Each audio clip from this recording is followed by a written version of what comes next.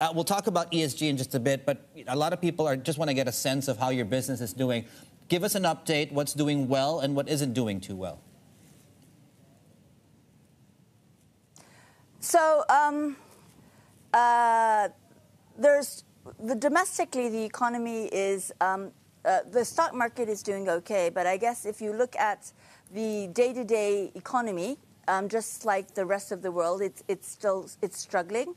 Um, our operations abroad, as you can see from our U.S. peers that have done quite well in their trading and fixed income, we can say that pretty much the same. Mm. So um, we're we're not doing great, but I think we're quite strong and um, weathering the current situation quite well. Uh, yeah, I mean, do you expect deal activity, especially in Japan? And I, I you know, I, am also aware that Daiwa itself has filed to raise money in the debt markets. Do you expect both equity and and debt financing and the activity within those two spaces to continue to pick up in, in the second half? Um, I, I, do. I think um, we will see more about um, how the companies are faring with the current situation as we go along, and that will affect how people uh, the equity market. But I think um, in terms of raising funds, uh, the interest rate environment, the central banks are supporting the market. So I think it will remain quite strong. Yeah, Keiko, uh, Kuroda, of course, this week saying that the economy is past its worst. Uh, is he right, given the, the virus situation in Tokyo? Uh, and is there more, do you think, that the central bank needs to be doing? So, so I think this is my personal opinion, but I think we still haven't um, seen the worst because the numbers in Tokyo are still um, going the wrong way. Uh, so, but, and I think um, the central bank, I don't, I think if they maintain their current stance, that itself is a strong message that, um, that, that will encourage us. So I'm not very concerned about um, the central bank not doing anything more. Um, I think they're doing quite, quite, um, they're, they're enhancing what they're saying right now. And when you look at global markets, are there areas, uh, pockets of opportunity uh, that you're attracted by at this point?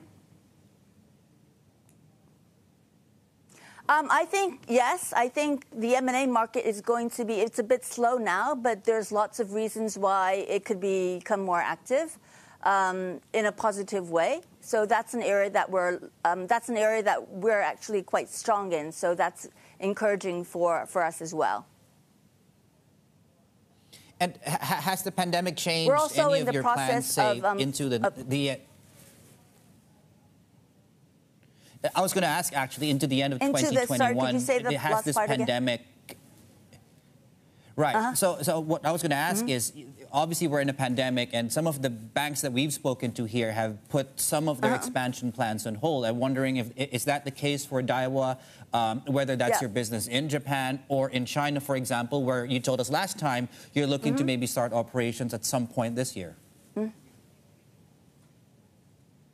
So the plans remain the same. We're still we're talking to the authorities. We're hopeful that we will start the uh, joint venture operations by the um, end of this year, which is the same thing that I, I so told you uh, last time. And also domestically, um, we have started opening small, small branches. Um, that's been our policy for the last few years, and we're still maintaining that.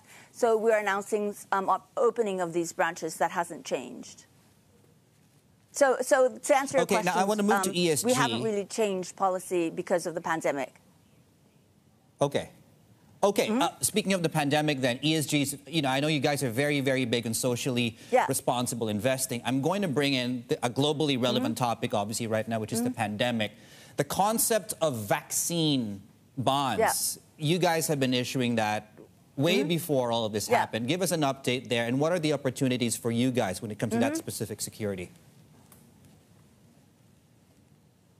So the vaccine bonds, um, uh, which was done by Gavi and IFFIm, are, is, are relevant now more than ever, and I think they'll have a big role to play. And obviously, we, we're talking um, to them about what, how we can do and how we can raise funds in Japan. Of course, uh, raising funds is, is, re- is a market oriented um, operation, so it really depends on the market whether we can bring the bonds to Japan um, to, and int- reintroduce them to our investors here. But in the meanwhile, um, uh, the institutional investors are very keen to invest, and we've been able to bring some life insurance companies to invest in uh, coronavirus bonds. And I think there'll be more to follow. Right, it's a new product. Could you tell us just very quickly what are vaccine bonds specifically? So, vaccine bonds that we issued are bonds. Um, so, so IFFIm at Gavi, um, there's countries that uh, pledge multi-year financing up to 20 years, um, but they will invest up to 20 years. So, but we need the vaccines now. So we issue bonds that um, whose uh, interest payments are paid by the pledges that countries have pledged for 20 years. So it's it's a very multinational, multinational, multi-year operation, which is um, and the output is a single bond that people can invest in. And we're hoping that it could be uh, not just vaccines, but I, have heard that they're working on education bonds as well with the same scheme. There's a vibrant debate going on in the US and other Western nations about the lack of racial diversity mm-hmm. in the financial sector. Uh, to what extent is that debate yes. taking place in the yeah. boardrooms of Japanese financial firms, and how much more needs to be done to address some of these issues? So, uh, so diversity is a big issue in Japan. I think not in the same way as maybe in the U.S. or in Europe, because right now diversity in Japan means pretty much um, women in the boardroom, um, which is a big topic. Uh, and, but so because of, as you mentioned, the investors are very keen to see more diversity in the boardroom. Uh, there, there, has been some progress. For if you look at Daiwa, we were just talking a few minutes ago. The percentage is 23% right now, so we're much better than average. But our management thinks um, there's a lot room to improve. I think there's an uh, improvement in terms of putting international representation on the board too in Japan right now. Uh, so, so the debate is very different what about, from what, what we're seeing gender? in the U.S. and in Europe. Because, uh, yeah. Mm-hmm. Uh, gender diversity. I wanted to bring that gender. up. Uh, yeah. apologies for interrupting. Yeah, uh, because okay, I would sure. imagine in, in the case of Japan yeah. as well, because of I guess how peculiar the market works as well, some quirks. Let's put it that way. Uh, you, you, know, you, you, don't have a very big labor force. It's mm-hmm. shrinking every year. So I would imagine that mandate to just bring more yeah. females into the workforce is more urgent than in any other place on yeah. the planet. I'm curious why it's not happening quicker in Japan. Yeah.